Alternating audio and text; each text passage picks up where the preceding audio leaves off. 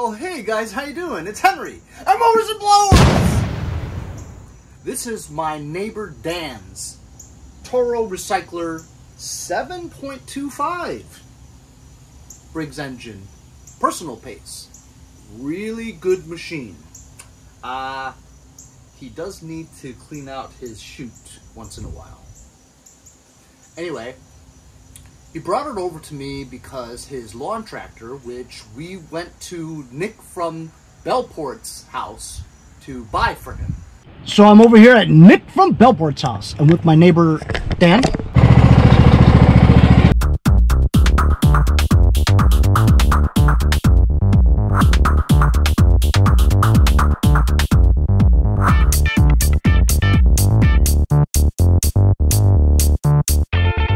So as you guys saw, we uh, Nick sold uh, my buddy Dan the uh, tractor. I haven't used the trailer in a long time. It's just taking up space. So uh, I'm selling the trailer to Dan. Right, Dan? Love it.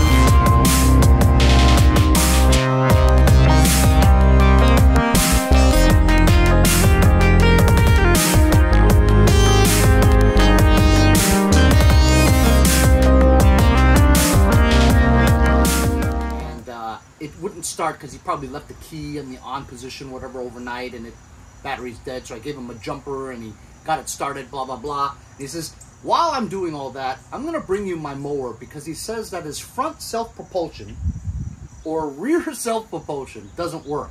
So when he brought it over, it was obvious what was the problem. As you can see right there on the cable, right there, it's not attached to anything. This cable broke. So we just need to install a cable and uh, give it back to him again. Anyway, he says it runs well and It just the propulsion doesn't work. It's the only reason why he brought it to me.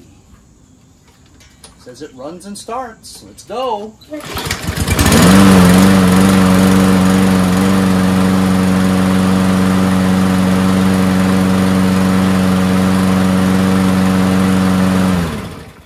Yep, runs okay. And his I don't know, did you looks like it's a little uh, off on the setting here, but it is the same one. And this one is on the third one. And this one is on the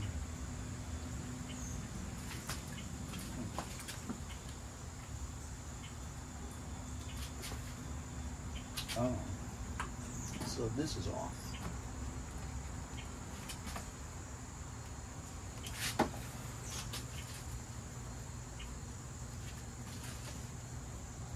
Yeah.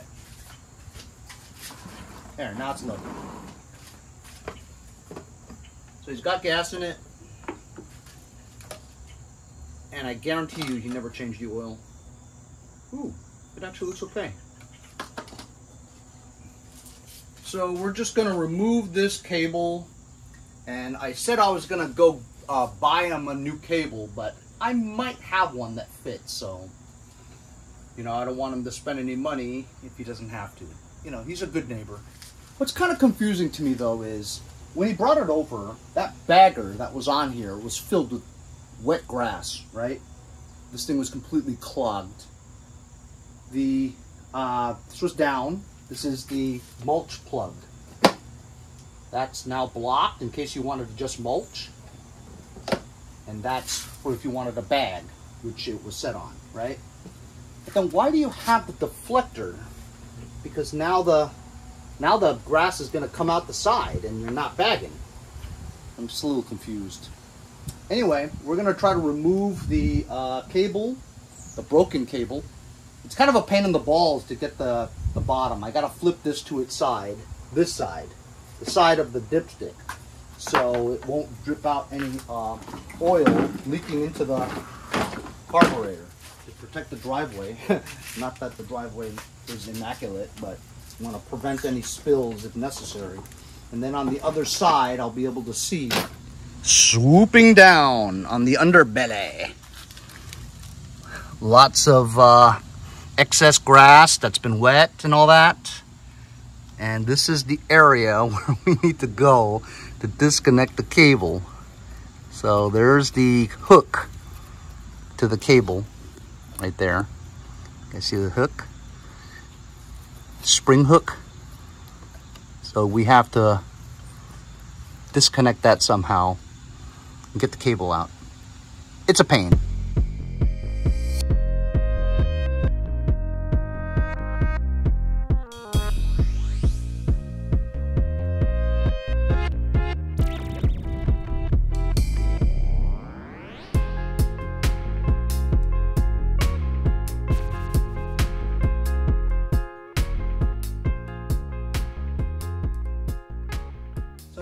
Time lapse, I got this out. Probably could have taken it out easier, but I don't know. Uh, I could have just cut it. but I wanted to take it out the regular way by pinching these two things, which it didn't happen anyway. I had to, I had to force it. Anyway, so this is it right here. As you can see, it's missing that part there. And you can pull this right out. And as you can see, it's been rusted probably around here. And it just broke. So fortunately, I looked in my box of parts. And I have the exact one. See the length? It's exactly the one. So I just uh, oiled it, and it's nice and smooth. And we'll just uh, put this to this side. I'll show you how it goes. There's a close-up of the hole that it goes into.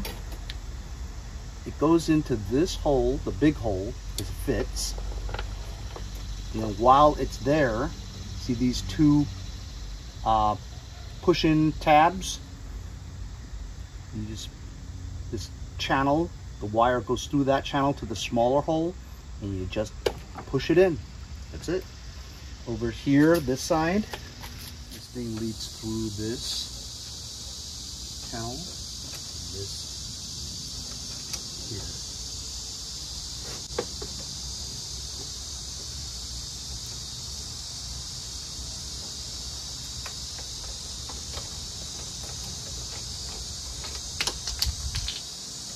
part comes out. Slip this through here.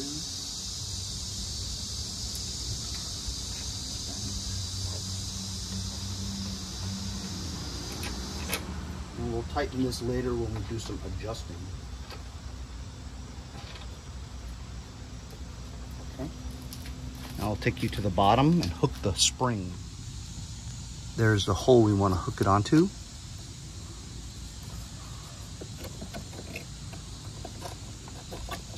There we go. Pull it out.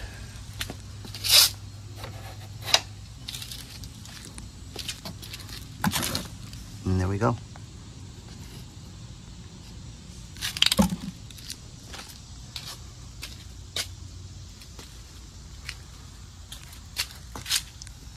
Now we'll take this and we'll secure it to this right here, Z-bend. Now we'll do some adjusting. Thing back up again. And then you want to just test and see if you push this down, is it stretching the cable? It's not. So we need to pull this out some more like around there. Then if you push down, it pulls on the rope. So we put it to like, we'll just pull it until it's like snug. You know what I mean? Like not tight, tight, but snug. We'll just tighten this and that'll clamp down on that uh, cable and hold it in that area.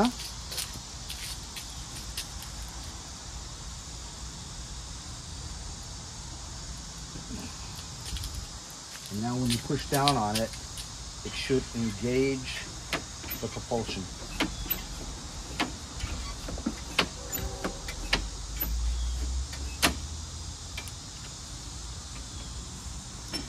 So let's give it a try now. That didn't take very long at all. Okay, so let's see if it starts up and, well, we know it starts up, right? Hopefully. See if the propulsion works.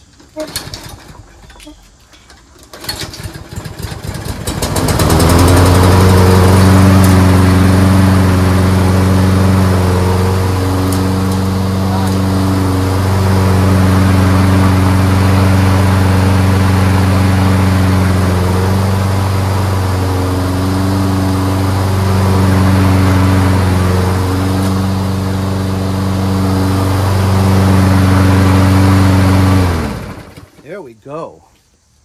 Fixed. That was like, I don't know, 10 minutes, right? It's easy if you know what you're doing. Now you know what you're doing. You guys ever have that problem? Now you got a video to show you exactly how to change it. So since I got that fixed so fast, I wanted to check this out again.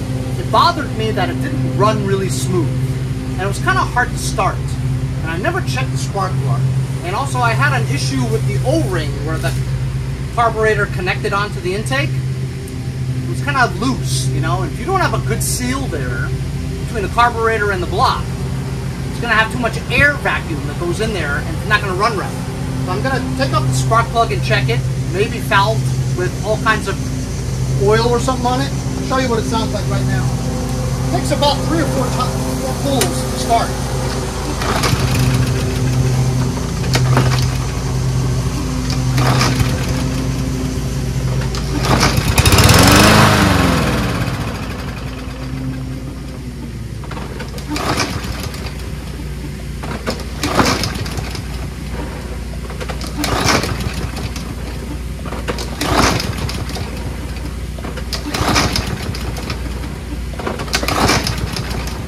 Now it's not starting at all. So I gotta check it out. I gotta figure it out.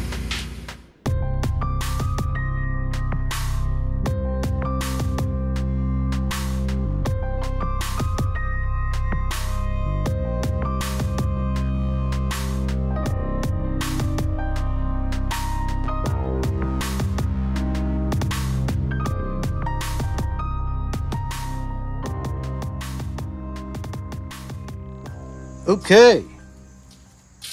Dan came by. He's going to come pick up the mower later. He's very thankful that it's fixed.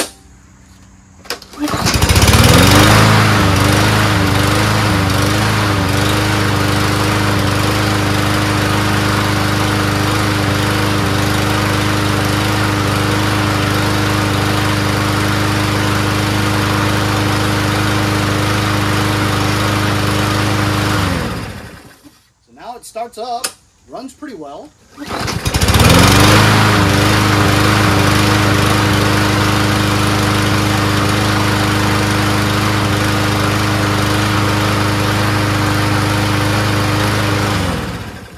So what I changed the spark plug. Uh, when I took out the spark plug, it almost seemed like it was tough to turn and also it was wobbly as you turned it, like like the spark plug was bent or something. But then when I put another spark plug in there, it was fine. Um this is excess oil that's burning and also the paint that I used to paint the uh, muffler guard. It's not really supposed to be for heat applications, you know, so it's kind of burning off a little. Um, also, I checked out the carburetor too. This plastic carburetor from Briggs It has a white plastic O-ring over a rubber black O-ring. The white O-ring wasn't even attached to the carburetor.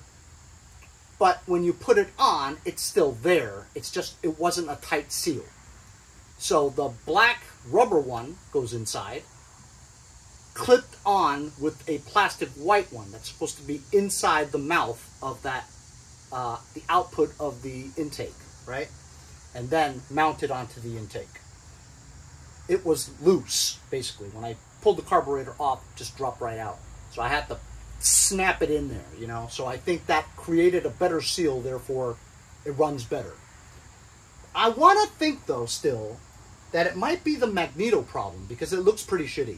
it's really rusty and stuff, and if you're not getting a good magneto spark, could contribute to it running rough or not starting easily, not getting a strong spark, you know. So while it does start and run okay, albeit ass gas in there, the old gas, uh, of course, when I would show this to somebody, I would add some fresh gas and dilute it and make it run a little bit better.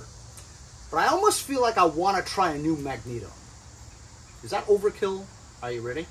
If this starts on the first pull, I won't do anything. But if it takes more than one pull to start this thing, then I'll go see about if I have another magneto. Let's see. the fate of the new owner relies on this pull.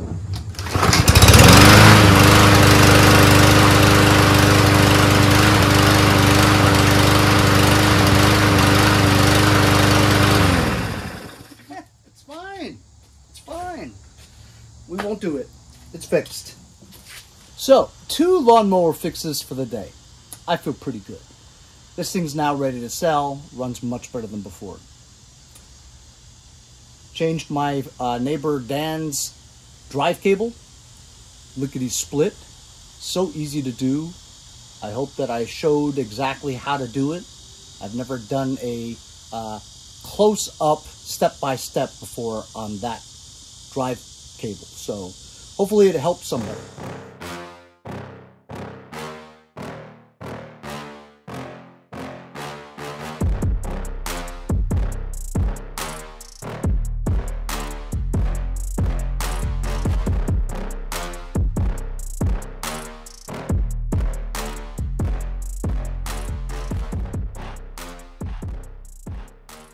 Can you believe it? Right after I mowed the lawn, I go inside, I look at my phone, it's like uh, 17 messages about that mower.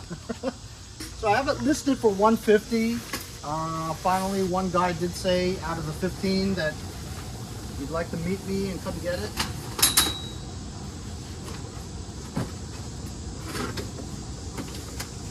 So we're gonna go and load this up into Sketchy and see if we can sell it. And meet him at the church. Seems to be quite a lot of interest in it. So I'm just gonna keep it out here, whether I sell it to this guy or not. I'm pretty confident that I'll sell it pretty soon. So no need to store it in that shed. We'll add some fresh gas in here, just a little bit.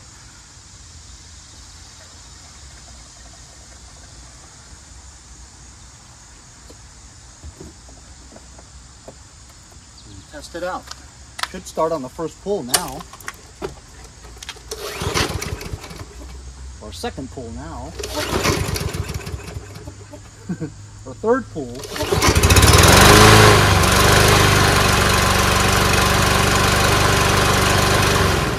Nice. Rained a lot last night. After a while, my tonneau cover starts to sag a little bit.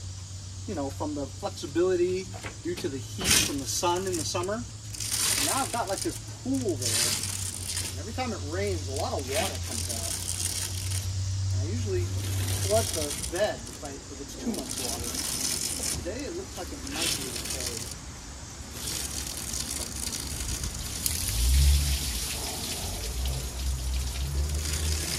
The joys of owning a pickup.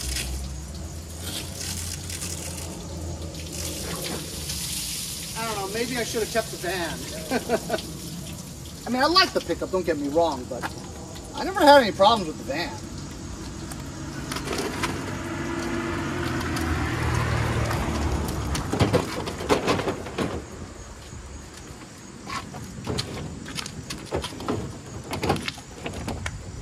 So I'll just keep this in here if I don't sell it. I know I'm gonna sell it soon.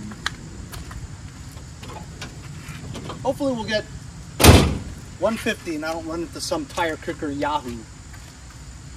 Yahoo! Also, I listed these two things that I got from Mickey for uh, $30 for both of them. Everybody basically just wants the Echo though. Actually, should I should I try to fix this? Mm, No. I'm gonna keep this in my truck in case somebody wants it. Actually, I just tried to pull this. Engine seized. Can't even pull it. This stuff is garbage.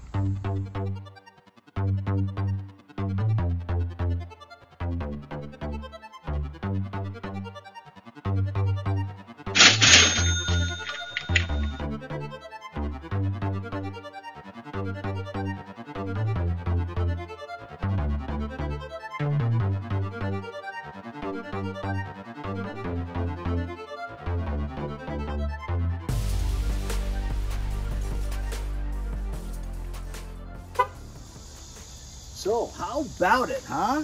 Nice guy. Didn't even bargain with me. I let him start it. You know, I says, here you go, it's auto choke. He's like, oh, no prime? I says, first pull, boom. He's like, perfect. Gave me 150 bucks. Fantastic. I love it because we just fixed that thing today. I mean, it was sort of fixed before, but he's just touched it, you know, and fixed it. And now 150 bucks richer. For free! That's right, free. Good day. Once again, guys, thanks a lot for joining me on this episode. I'm glad I was able to put that clip into this one. Makes it a lot more interesting. We'll see you guys later.